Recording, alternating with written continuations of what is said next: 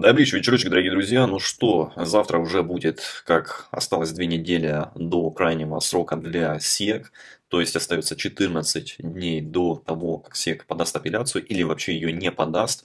Но если бы они хотели подать апелляцию, они бы сделали это несколько недель назад, потому как оформление апелляционного документа занимает 15 минут. Сегодня мы поговорим об этом, поговорим также о новостях БРИКС, поскольку 23 новые страны официально подали заявки на вступление в БРИКС. А также мы поговорим о том, что он запланирован на конец октября. И поговорим о том, что SWIFT упоминает XRP, и сейчас есть все внимание на XRP. Что касается, значит, рынка криптовалют, то за последнее время мы видим, что рынок криптовалют неплохо вырос, то есть мы видим, что за 7 дней в целом рынок криптовалют себя неплохо показал, но альткоины все еще не так сильны, как хотелось бы. А, например, мы видим, что были, значит, топ альткоинов, которые а, в свою очередь и в свое время действительно в прошлом бычьем цикле себя хорошо зарекомендовали.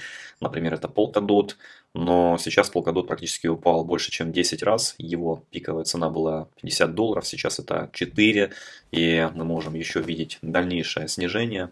А, поэтому на самом деле не все так радужно, поскольку а, часть криптовалют не вернулась к своим высоким значениям. А, например, этот график, он очень похож на график, на, значит, Solana, да, и Solana тоже там достигала, значит, 7 долларов в падении, да, при определенном пике. Но, в принципе, Solana смогла выйти наверх, смогла выйти в топ-5 криптовалют, да, и сейчас имеет капитализацию 67 миллиардов долларов и 143 доллара его а вернее ее стоимость.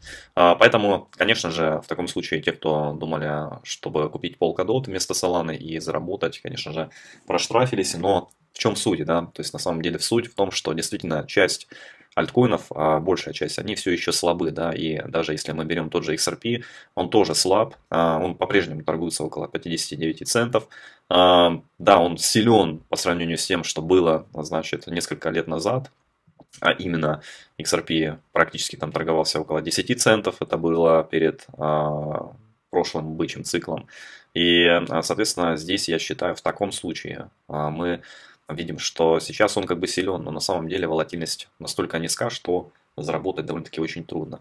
И это касается большинства альткоинов. А что касается самого XRP, то, как и по-прежнему я заявлял, что я ожидаю еще боковое движение. Здесь мы его видим. То есть XRP устремился, казалось бы, выше 200-го мувинга, даже достигал отметки 61 цент, но он не ушел далеко наверх, а, соответственно, все еще он продолжает торговаться в боковике. Вчера, кстати, мы заработали на иена, а, неплохо она выросла за последнее время. Вчера, кстати, на а, биржах она была в топ криптовалют, которые дают процентную доходность. И, в принципе, сегодня она снова опустилась. Мы, в свою очередь, получили там около 1000 долларов профита, где-то будет здесь скриншот. И вышли. А в таком случае приходится работать с более волатильными криптовалютами, более, возможно, даже интересными, чтобы зарабатывать на этом криптовалютном рынке. И а, бот, который настроен под диапазон, под торговлю данными криптовалютами, он неплохо справляется, как мы видим. А, что касается, значит, того, что мы а, будем видеть через две недели, это то, что наконец-таки это будет крайний срок для СЕК. С одной стороны, СЕК, комиссия по ценным бумагам биржам США, могла подать в отношении Ripple компании апелляцию еще неделю назад, да, то есть было у нее много времени, но она еще до сих пор этого не сделала и, возможно, не сделает, поскольку оформление апелляционного документа, оно занимает 15 минут, и есть шанс, что СЕК, в принципе, не будет подавать апелляцию. Но нужно также отдать должное, то что она еще не заявляла о том, что она не будет подавать апелляцию. А если она этого не делала, то, соответственно, э, мы, скорее всего, еще увидим, возможно, апелляцию. Но здесь все-таки шанс 50 на 50, но нужно в принципе, как говорится, верить в лучшее, но готовиться к худшему. Что также нужно отметить, что 23 новые страны официально подали заявки на вступление в БРИКС, и XRP, значит, успешно испытан в странах БРИКС в прошлом. Поэтому XRP и BRICS являются партнерами. В целом саммит БРИКС запланирован на 22-24 октября в Казанской области России. Можно выделить несколько ключевых дискуссий, которые будут, да, э, и это расширение местных валют, их использование, а не доллара США для трансграничных транзакций также могло бы быть обсуждено альянсом БРИКС. А, также, в принципе, здесь говорится, что это дает Альянсу БРИКС передышку и позволяет принять решение о политике, которая соответствует амбициям блока из 9 стран. Однако нам придется подождать и дождаться предстоящего 16-го саммита по принятию решения о расширении. Что также нужно отметить, что а, значит а, SWIFT упоминает XRP, все внимание сейчас завязано на XRP, мы видим SWIFT, R3 и, соответственно, здесь видим Corda Settle и видим а, значит, непосредственно криптовалюту XRP. Что также нужно отметить, что тест был биткоин, то есть биткоин был тестом, отвлечением стал эфириум, но, а, соответственно, вскоре вы поймете, что не биткоин или эфириум сделаем, сделает вас богатым, а именно XRP. Но действительно, если мы говорим про доходность, то я верю, что XRP в этом бычьем цикле имеет все шансы, э, в принципе, дать доходность 1000% и даже, возможно, больше. Если мы говорим про биткоин, 1000% биткоин не даст, потому что если мы говорим про текущий бычий цикл, то 1000% для биткоина – это стоимость биткоина 628 тысяч долларов. Даст ли он такую доходность в этом бычьем цикле, то есть его капитализация должна вырасти в 10 раз? Я считаю, что нет, то есть его капитализация в этом бычьем цикле не вырастет на 10 триллионов долларов. То есть в будущем я не исключаю этого, но а, в этом бычьем цикле нет. Соответственно, какой запас хода у биткоина от текущих, я думаю, что это 100-200%, ну, максимум 300. Если мы говорим про эфириум, то по эфириуму на самом деле 10 тысяч долларов можно увидеть, и это 400%. Даст ли эфириум такую процентность, ну, 400 или 300%, то есть я думаю, что да в принципе, может. Ну, а XRP вполне себе может дать 1000%. А, 1000% для XRP это 5 долларов и 89 центов. Это, кстати, немного. И капитализация XRP а, будет 333 миллиарда долларов. То есть в таком случае я верю, то, что это возможно. Но, опять-таки, а, здесь нужно понимать, что если даже мы увидим значит, непосредственно то, что Ripple решит проблему SEC, и SEC не будет иметь никаких вопросов по отношению Ripple. Это, в принципе, даст толчок э, XRP для того, чтобы он достиг данной отметки. Потому что там дальше пойдут новости о XRP ETF, XRP IPO и многое-многое другое. А, ну, а если XRP объявят Bridge Currency, то я считаю, что и 2000, и 3000 процентов мы можем увидеть.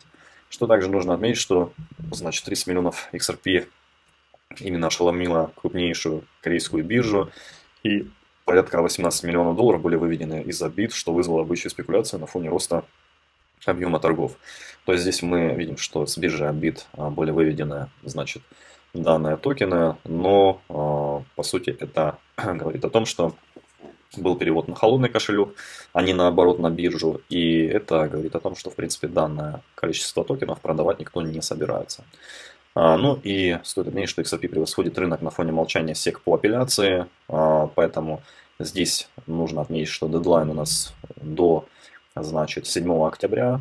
Еще есть время, да, и вот на фоне этого мы можем еще увидеть волатильность и в ту или иную сторону, в зависимости от результата. Да. Если результат будет позитивным, для Ripple именно SEC отступит, то я считаю, что значит у XRP есть большой шанс выйти наверх. Причем, если мы смотрим месячный таймфрейм, то здесь такое ощущение, что на месячном таймфрейме уже идет поджатие, уже идет поджатие, да, то есть если мы проведем с вами трендовую линию, то увидим поджатие. И это поджатие, в принципе, очень хорошо а, может, в принципе, сигнализировать о начале бычьего тренда для Ripple XRP. Поэтому здесь я считаю, что а, конец сентября даже может решить а, вопрос с пробоем сопротивления, ну, в данном случае локально 63 цента, и мы, возможно, уйдем в район 66 центов.